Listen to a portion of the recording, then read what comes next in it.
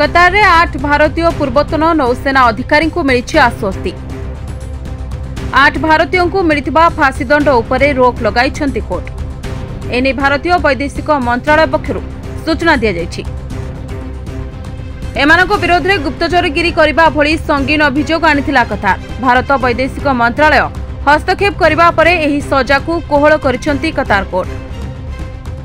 ଏବେ କୋର୍ଟଙ୍କ ବିସ୍ତୃତ ରାୟ ଆସିନଥିବା ବେଳେ ମନ୍ତ୍ରଣାଳୟ ଏହାକୁ ଅପେକ୍ଷା କରିଛି। ଆଜି କୋର୍ଟରେ ଶୁଣାଣି ସମୟରେ ବୈଦେଶିକ ମନ୍ତ୍ରଣାଳୟର କିଛି ଅଧିକାରୀଙ୍କ ସମେତ ଆଠ ଭାରତୀୟଙ୍କ ପରିବାର ମଧ୍ୟ ଉପସ୍ଥିତ ରହିଥିଲେ। ଗୁଇନ୍ଦାଗିରି ଅଭିଯୋଗରେ କତାର କୋର୍ଟରେ ଦୋଷୀ ସାବ୍ୟସ୍ତ ହୋଇଥିବା ଏହି ଆଠ ଭାରତୀୟଙ୍କୁ ଫାଶୀ ଦଣ୍ଡ ବଦଳରେ ଜେଲ୍ ଦଣ୍ଡ ଦିଆଯିବ ବୋଲି ସୂଚନା ମିଳିଛି। ତେବେ କୋର୍ଟ ଗୁରୁବାର ଏହି ମାମଲା ଉପରେ ଶୁଣାଣି କରିବା ସମୟରେ ସଜାକୁ କୋହଳ କରିଛନ୍ତି। ଏବେ ବି ଭାରତୀୟ ବୈଦେଶିକ ମନ୍ତ୍ରଣାଳୟ କତାର ପ୍ରତିପକ୍ଷଙ୍କ ସହିତ ଆଲୋଚନା ଜାରି ରଖିଛନ୍ତି। Bureau report NNS Odia.